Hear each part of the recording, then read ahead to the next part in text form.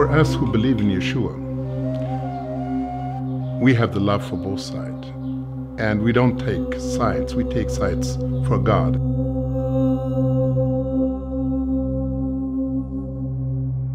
We're Bob and Catherine Carlton. We're filmmakers living here in Jerusalem, Israel. For 30 years, we've been carrying a vision to tell the story of God's peace plan for this troubled part of the world. You know, people are always looking for peace plans, but I think God also has a long term plan for this region. And His plan is already in place, and it's in place already with a leader, and His name is the Prince of Peace. In Him we are set free to be brothers and sisters. In Him we are set free to be friends and not enemies. We don't need to fight.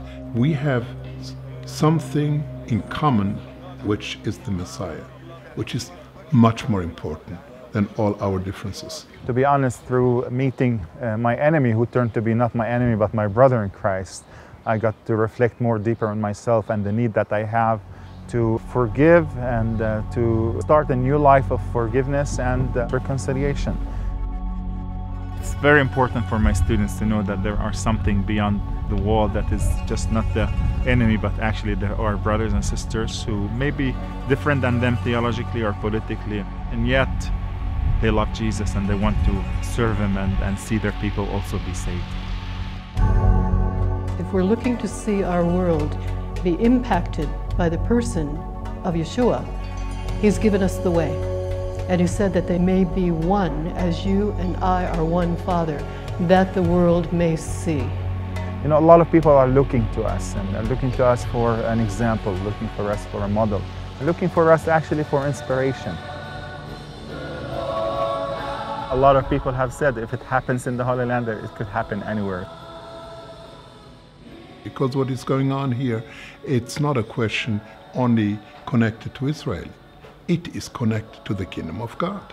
It is important that we start to tell the stories, to call the believers, the children of God, to stand in prayer with God's promises and plan, and to pray for a breakthrough in the hearts of Jews and Arabs alike. A breakthrough of God's promises, God's reconciliation, and God's love.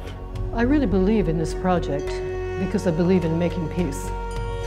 And we need to be challenged to be those who seek after and pursue peace. When God one day will heal the broken family of Abraham, when Jews and Muslims together will receive forgiveness and will be able to see the face of God in each other, they're going to be a living model, a manifestation what reconciliation through God means. They're going to have an impact on the whole body of Christ and on the nations.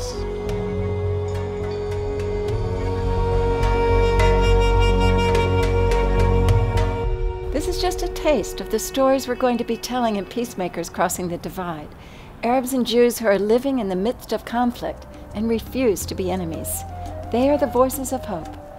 And we invite you to partner with us to help tell these unique stories that you won't hear about in the news. Thank you for joining with us to show the world what God is doing to bring about His peace plan for Israel and the nations.